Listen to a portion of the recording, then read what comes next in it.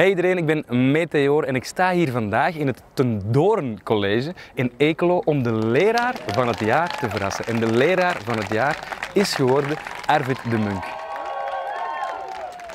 Enkele weken geleden, of enkele dagen zelfs nog maar, geleden kwam uw naam bij ons de mailbox binnen. En daarbij enorm veel getuigenissen van jouw leerlingen. En dat waren heel warme reacties. Heel warme reacties. Zelfs feedback vanuit de directie en, collega-leerkrachten. En ik sta zelf ook nog heel af en toe in het onderwijs. En dat heeft me echt geraakt. Dus we hebben daar een nummer van proberen maken. Vergeef het mij dat ik het ga aflezen. Want het is natuurlijk niet, nog geen hit, maar dat komt binnenkort worden.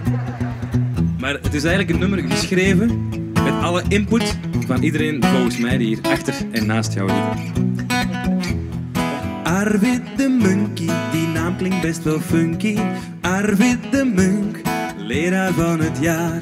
Oh Arvid de Munkie, die prijs die verdient hij. Ja Arvid de Munk, leraar van het jaar. Dat kun je al onthouden, dat gaat zelfs nog eens terugkomen. Hij geeft Engels en Nederlands in het middelbaar. Oh, daar staat hij elke dag opnieuw voor elke leerling klaar.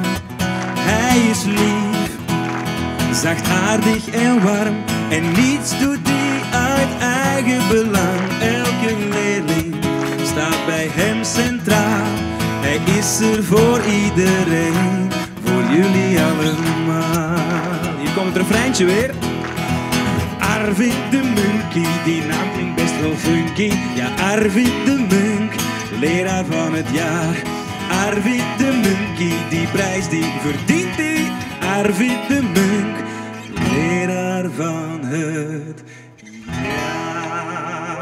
Dankjewel.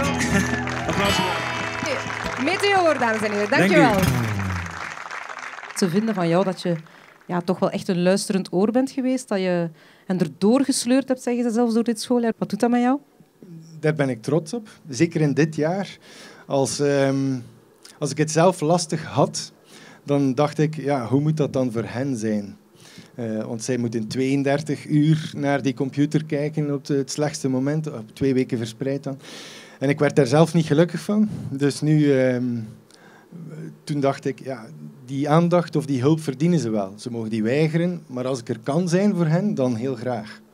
Ik vind ook niet dat ehm, wat ik deed zo uitzonderlijk was. Maar ik ben blij dat mijn leerlingen zo blij zijn. Als ik bedankt zie staan, dan, dat is waarom je het doet. Hè.